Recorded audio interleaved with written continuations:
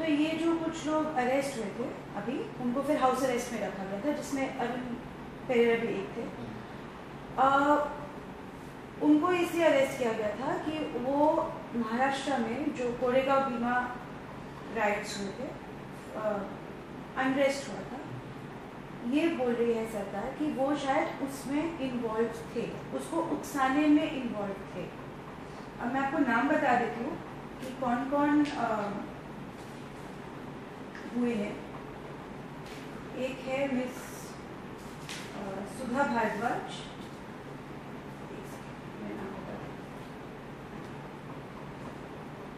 इतने सारे पेपर्स आए हैं हो गया। एक सेकेंड बताती हूँ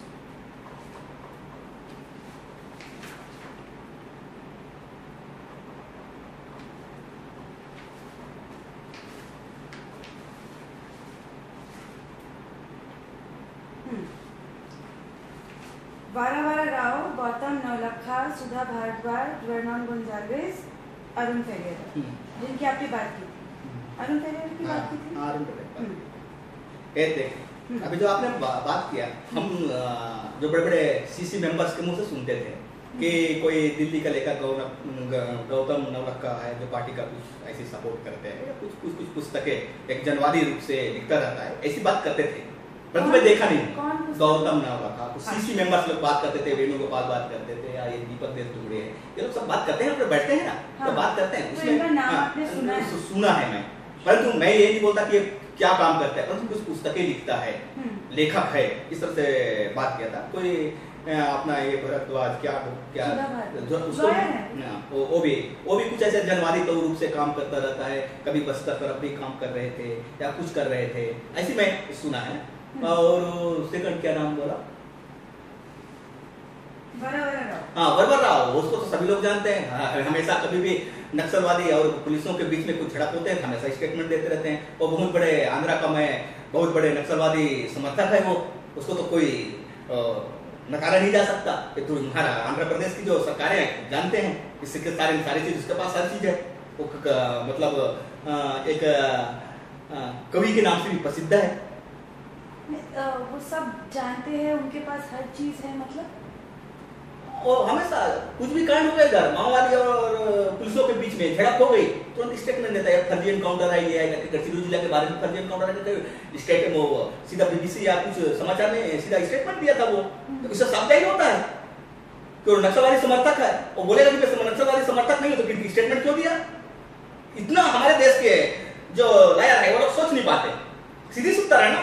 नहीं तो ये मैं बोल रही हूँ, ये बोल रहे हैं कि ये लोगों को अरेस्ट करके या रेड करके कोई मतलब नहीं है। क्योंकि ये शहर में रहते हैं, इनका कोई ताल्लुकात नहीं है। ये सभ्य लोग हैं, बस बात करते हैं आप लोगों की हक का। तो इनको रेड करके या इनको अरेस्ट करके कोई मतलब नहीं देखिए, आपने बोले कि ये लोग आदिवासी के हक के लिए, अधिकार के लिए बात करते हैं। एनकाउंटर क्या। आदिवासी के हक अधिकार की बात है। ये दो दो दो के बीच की युद्ध की बात है उतना है कि नहीं? आदिवासी मारा गया। आदिवासी मारा गया करके बोल रहे हैं। क्योंकि वो क्षेत्र के प्रापर को बंदूक से पकड़ाया कौन? उसको प्रेरित किया कौन? दोषी कौन? मरने वाला दोषी नहीं है। उसको जो युद्ध में ढकेला ढकेला गया, वो दोषी है। ऐसा कौन है? जो बाहर के प्रबुद्ध निठल्ला बुद्धिजीवी लोग है, जो सरकार के सामने हाई कोर्ट के सामने अपने आप को दूसरे के बिल में छुपाने की कोशिश करता है कि मैं ये नहीं हूँ फिर तुमने गढ़चिरौली कांड का क्यों स्टेटमेंट दिया भैया? कि जो निर्दोष आदिवासी मारा गया निर्दोष नक्सलवादी मारा गया? आपको देना नहीं चाहिए? तो आपको क्या लगता है ऐसे स्टेटमेंट्स देने से या ऐसा लिखने से हाँ। इस मूवमेंट के सपोर्ट में या इस मूवमेंट के डिफेंस में कि नहीं नहीं इतना भी खराब नहीं है ये कर रहे हैं तो इनका ये आइडियोलॉजी है। इससे इस ये जो आर्म्ड स्ट्रगल है नक्सलवादियों का और माओवादियों का उनको कितना सपोर्ट है? फुल सपोर्ट मिल रहा है? इन्हीं तरह से जो माओवादी है फलता फूलता जा रहा है आगे बढ़ता जा रहा है इनके सपोर्ट से। लेकिन ये तो बंदूक नहीं उठा रहे ना। बंदूक नहीं उठा रहा है इसलिए छुपे रूप में वहाँ पर काम कर रहे हैं ना। इनको सपोर्ट मिल रहा है ना सारी चीज़ सुविधा मिल रहा है ना। अभी अंदर बैठे जो माओवादी लीडर है उनको कहाँ से प्राप्त होता है सारी चीज़? कहाँ से प्राप्त होता है? बताइए आप नहीं लेकिन ये तो बोल रहे हैं कि अ, भारत आज़ाद देश है हमको बोलने की आज़ादी है हमको बोलने के लिए आप नहीं रोक सकते। बोलने के क्यों नहीं सकते। जब तुम बोल रहे हैं तुम स्टेटमेंट दिया कि नक्सलवादी को जो मारा है ये झूठा है इसको फर्जी इनकाउंटर है ये है करके बोल रहे हैं। और दूसरी तरफ़ बोल रहे हैं कि मैं माओवादी सपोर्टर नहीं हूँ। तो आप बोल रहे हैं कि अगर ये बोल रहे हैं कि ये फेक इनकाउंटर है गलत मारा गया है ये ठीक लोग हैं तो वो एक्चुअली उतने ही मूवमेंट से जुड़े हुए हैं जितने आप कुछ महीनों पहले तक जुड़े हुए जुड़े थे राइट चाहे वो बंदूक उठाए या ना उठाए। है मैं इसलिए बोला कि छुपे रूप में है वो लोग। एक अपन को दिखाता नहीं है। एक विकराल धारण करने के लिए ये लोग कोशिश कर रहे हैं। जो देश के लिए सबसे बड़ी खतरा हो जाएगा पूरा आदिवासी नष्ट हो जाएगा। आदिवासियों का नाम निशान नहीं रहेगा। अभी भी मैं बोलता हूँ यदि किसी के पास है इस युद्ध से आदिवासी अस्मिता बचता है तो बताइए। एक अभी फ्रेज चला है अर्बन नक्सल। हम्म. आप सुना आपने? अर्बन नक्सल बोलते हैं जो शहरों में चुपचाप छुपे हुए रहते हैं। वही है वही है। तो ये बोलते हैं कि नहीं नहीं ऐसा कुछ है नहीं। और भी जो और लोग हैं वो बोलते हैं अगर ये अर्बन नक्सल हैं तो हम भी अर्बन नक्सल हैं क्योंकि आप इनके बोलने के हक को रोक रहे हैं।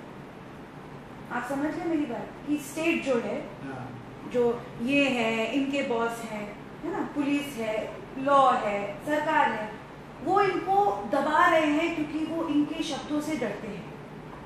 इसीलिए ये बड़े अच्छे हैं और सरकार बुरी है। तो इसके बारे में आप क्या कहोगे? देखिए हम्म, घुसने के तौर तरीके। हम्म, कई प्रकार की चीज़ों को अपनाते हुए घुसते हैं। समझिए ना? कैसे भी हमको अंदर घुसना है घुस करके इसको अपने संघर्ष की ओर जोड़ना है ताकि इस शहरों में एक बड़ी आंदोलन खड़ा किया जा सके। उनकी सोच रहता है। कि